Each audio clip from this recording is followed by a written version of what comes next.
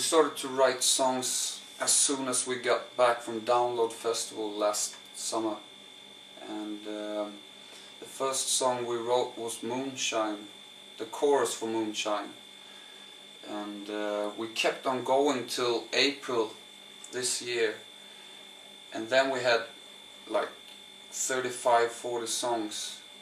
And we we just couldn't choose which songs to record, so we gave the, all the songs to our A&R guy and our manager.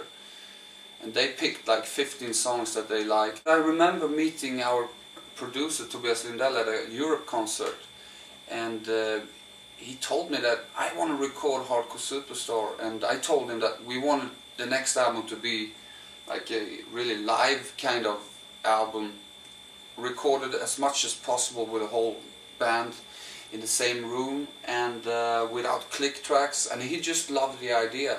We rehearsed for about six weeks, we rehearsed our asses off and then we went into his studio and we recorded the whole thing in like five days and that was probably the most enjoyable album I've ever recorded.